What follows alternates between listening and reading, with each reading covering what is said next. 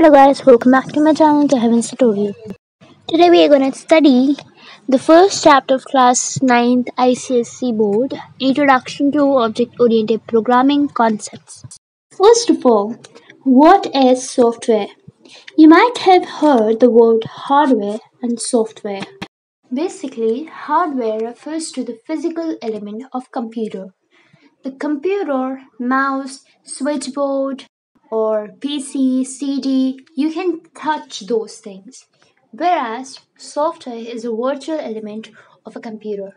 For example, Google, Gmail, the apps, they're software. This is the difference between hardware and software. Software, or you could say the apps, they consist of programming language. So now you know what is software and hardware. Next, let's come to the evolution of software. As I told you that software consists of programming language. The computer understands only the binary code that is mainly zeros and ones. It is quite hard to know. You need to knowledge about binary code. So it's it is quite hard. So this is low level language. LLL. It consists of binary code that is zeros and ones, which is only understood by the computer. Next is high level language HLL which consists of English words or iterations like in Java programming that we will do later. So these language high level language they're converted to low level language using compilers or interpreters. They're quite easy. You need to know just few rules and skills. So it is easy. Next is the first generation level language. First generation language uses the binary code that is zeros and ones and is also called as machine level language. You can see this is binary code. Next is second generation language. Second generation language uses assembly level language. It uses mnemonic codes. So the code that you write that is called the high level language that you write it is compiled it is changed to assembly level language using compilers or interpreters and that assembly language is converted to binary code which is understood by computer. So this is the second generation language. Next comes the third generation level language which uses compilers and interpreters. In this language java c++ python etc kind of language they come in third generation level language. Next thing is fourth generation level language. It is a non-procedural language. For example, Focus, Nomad, Ramis, these are kinds of languages and they're easy to learn and use. Next is fifth generation language which is which is used in artificial intelligence you might have seen in movies Hollywood movies, hackers and cops, they use this kind of code. These they use these kinds of language. So this is the fifth generation language. Next is programming paradigm. It means way of or style of programming. The way that you program that is. There are kinds of uh, programming paradigm, procedural programming, modular programming, object-oriented programming, structural programming, and other programming paradigm as well. So procedural or modular programming is a list of instruction where each statement tells the computer to do something. It basically uses algorithms. That is the difference between uh, object-oriented programming and procedural programming. Whereas object-oriented programming uses objects and not procedures. Now here see the principles of OPs are very very important as in the aspect of class 10 ICSE examination. You need to know the definition and the examples because it carries two marks in your class 10th examination. So next is you need to know these two things object and class. Object which has some specific characteristics or behavior.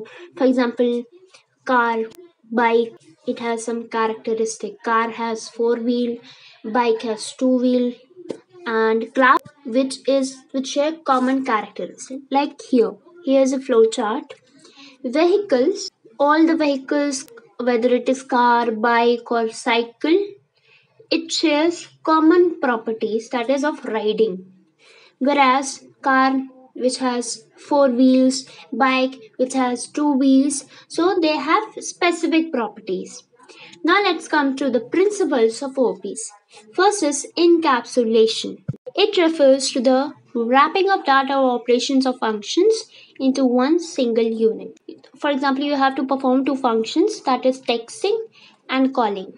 And these two functions they are being wrapped up in one single unit that is mobile. Through mobile you can text and call. So that this is called as encapsulation. Likewise computer as well.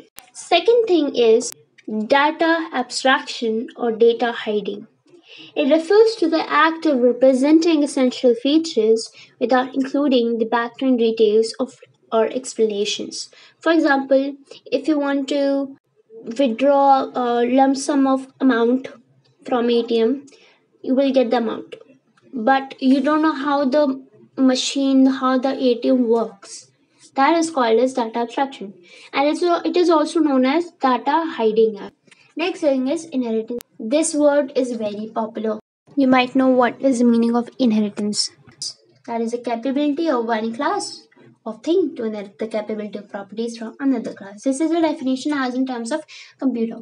For example, family, car, brand अलग हो सकते हैं। Okay so that is inheritance inheritance consist of base class and derive class we can't read it later let's come to next principle of O Ps that is polymorphism poly means many morphism means forms so in short, it means many forms. So, a message or data that can process in more than one forms that is called as polymorphism. For example, computer, mobile functions, the data they can be processed in more than one form. That is called as polymorphism. So, as I told you, the definition, the examples, they are really, really important as in the perspective of 10th examination. So next, as I told you, base class and uh, derived class inheritance. Base class is the class from which properties are being inherited. And derived class is the class which inherits the properties from base class. Hopefully you understood. Next thing is now, what is important as in the perspective of class 10th? The definitions of all the properties or you could say principles of OOPs are very very important. They carry two marks in every examination. 2019, 2018, if you अगर आप last year के paper देखोगे तो दो marks का होगा ही होगा फर्स्ट सेकंड या third question so this for the video of first chapter of class 9 ICSE board and if you understood it completely clearly like this video and subscribe the channel and share this video to your friends hopefully this presentation helped you a lot stay tuned and stay safe and thank you so much for watching